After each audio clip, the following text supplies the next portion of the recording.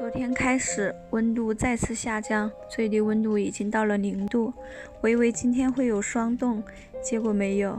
我喜欢冬天的霜冻天，因为只要是霜冻天，就会有暖暖的阳光。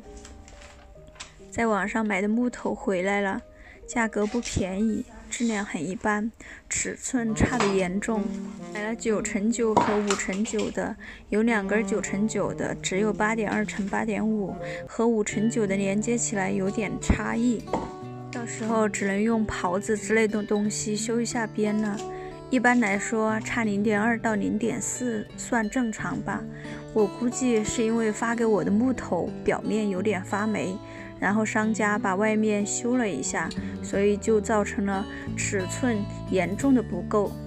最搞笑的是，我买木头都是按米计算的，他们的规格只有三米和四米，所以材料都不会刚刚好，会剩下一些材料。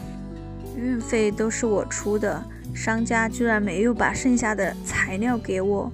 不过我量了尺寸，拍了图片给他，只是单纯的想告诉他一下，没想到他马上说给我补发，价格是贵点，但是态度还是不错的。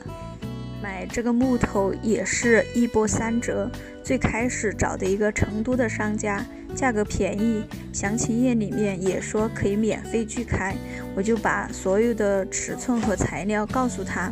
他一会儿说叫我自己去川藏立交自提，一会儿又叫我去郫都区自提。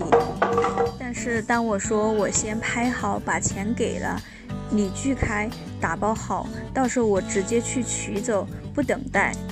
没想到商家不愿意了，他叫我直接去自提点给钱，看着锯开，如果不这样就不卖给我了。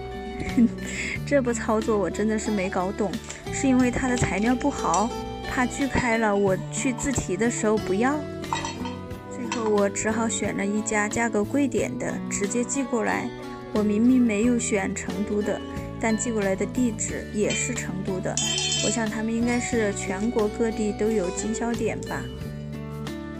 这个椅子我想做简单的榫卯结构，所以要先画上线，确定好打孔的位置。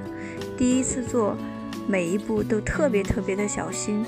总害怕计算错误，或者是画错，所以最后我把木头一根一根的摆好，以便确定具体位置。我想从明天开始，我应该就会很忙碌了。上午给猕猴桃修枝，累了就回家做椅子。但愿我的成品不要让我失望吧。